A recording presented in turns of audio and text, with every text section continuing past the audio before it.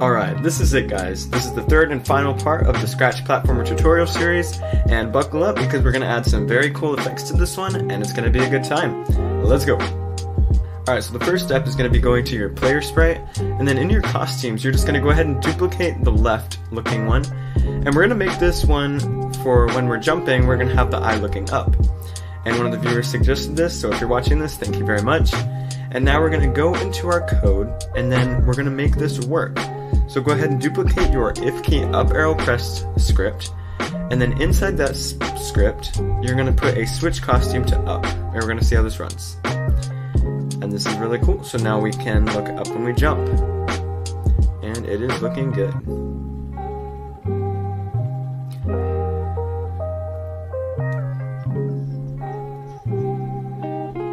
Alright, so after you do this, we're just going to go ahead and hide the levels variable because we don't really need that and then you should have all the costumes here. And now we're going to go ahead and add a cool trail effect to our player. And I know that a lot of platformers on Scratch have these, and they're pretty cool, so I'm going to teach you how to build one. So you're just going to do a one green flag clicked, and then a forever loop. And then inside that forever loop, you're going to say create clone of myself. And we're going to go ahead and start off by waiting, I think, 0.1 seconds. Just like that, and that is very good. So now that you have that, drag it in, because we don't want to forever be repeating creating clones. So that would break our game. It'd be not a good time. So we're going to have a little delay. So on the top of that script, you're going to say show, and then go to back layer. And then we're going to go ahead and set our ghost effect to zero. And then I'm going to need to correct this in a bit. We're just having it up to 100 for now, but set that one to zero. And then when I start as a clone, we're going to repeat this 10 times, and then we are going to change our ghost effect by 10. And this is going to make our trail piece fade away, I guess. And then after you do this, you can go ahead and drag in a delete this clone block to keep our game running nice and smooth. And honestly, that's looking a little bit choppy, so we're just to make a few adjustments to make this run smoother and look cleaner. we're to continue testing this out. So we're to change the delay from 0.1 second to 0.05 seconds. We're to repeat 20 and we're to change our ghost effect by 5.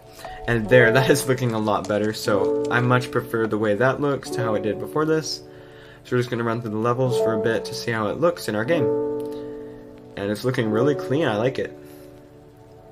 Okay, so the next step we're going to do here is we're going to add a sun to our background because I know some of you are requesting some more detailed art, so we're just going to do that to make our game look a little bit more finished. And once again, my goal for this series is not to show you how to make a platformer game that you can make and call it good. I'm showing you how to make the engine for the platformer game so you can then make it your own and add however many features you want and if you do that, please link your Scratch projects down in the comments and I will check them out and I will give you feedback on them. And I'd love to see what you guys add to this engine.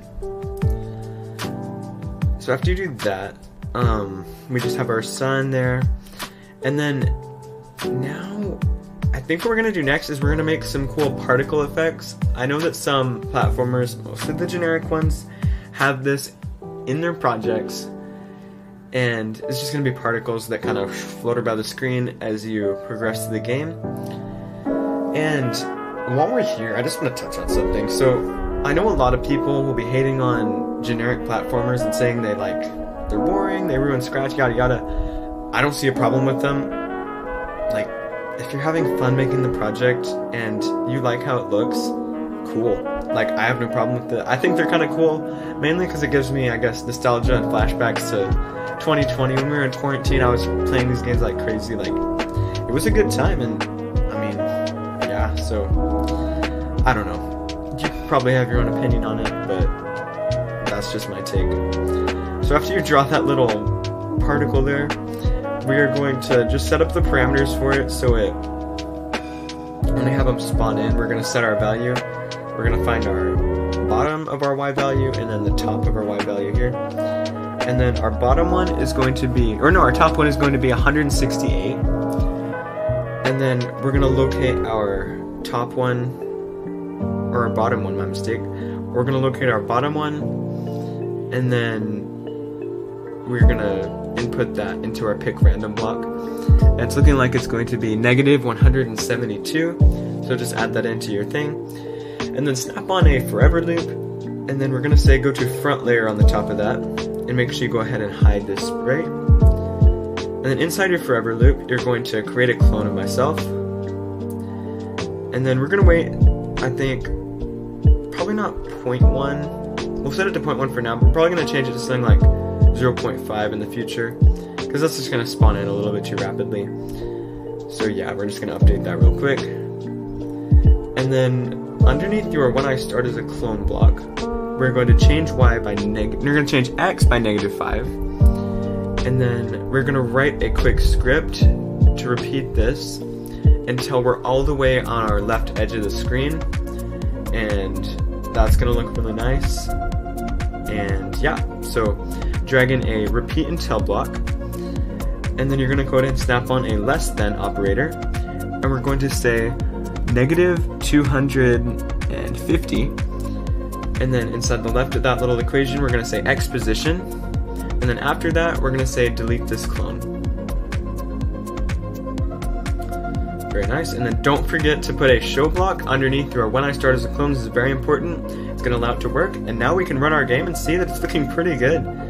I'd say we're pretty much done with it. It's looking very polished and nice and it's looking like it's a good starting point for y'all to add some very cool features. And once again, I can't wait to see what y'all come up with to add to this engine. We're just gonna navigate through the levels real quick. And we're gonna see what we want to add next.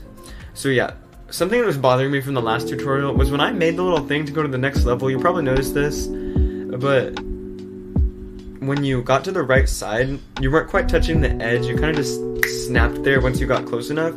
So we're gonna go ahead and put our blue rectangle thing in the middle of the screen. And then go ahead and do your trick of drawing the transparent triangle, not, what am I saying?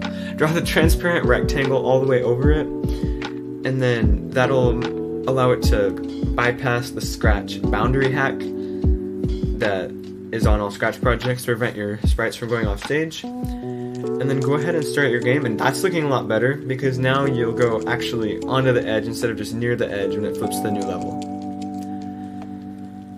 We go, we can just navigate through the levels a bit more to see how we're liking things so far. And yeah, it's looking very nice. Yep, yep, pretty cool, pretty cool.